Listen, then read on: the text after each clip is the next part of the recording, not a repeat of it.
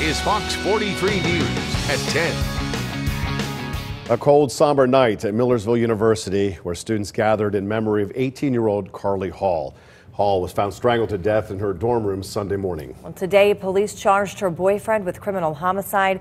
We'll have more on that investigation in a moment. But first, Fox 43's Katie Kairos is live at Millersville with more on how students are remembering the college freshman.